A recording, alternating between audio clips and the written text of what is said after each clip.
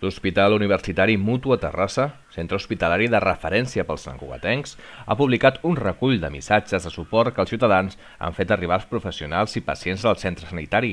Es tracta de més de 200 cartes, poemes, dibuixos i contes que des del 16 de març passat l'hospital ha rebut de forma espontània. El material prové de ciutadans de Sant Cugat, però també de Barcelona o Sant Quirze, així com d'indrets més allunyats com Igualada o fins i tot de Menorca, Burgos o Madrid. A més, també s'inclouen una sèrie de mandales pintades per una veïna de 88 anys de Terrassa que ha anat enviant cada dia per animar les persones a l'hospital que ho estan passant malament.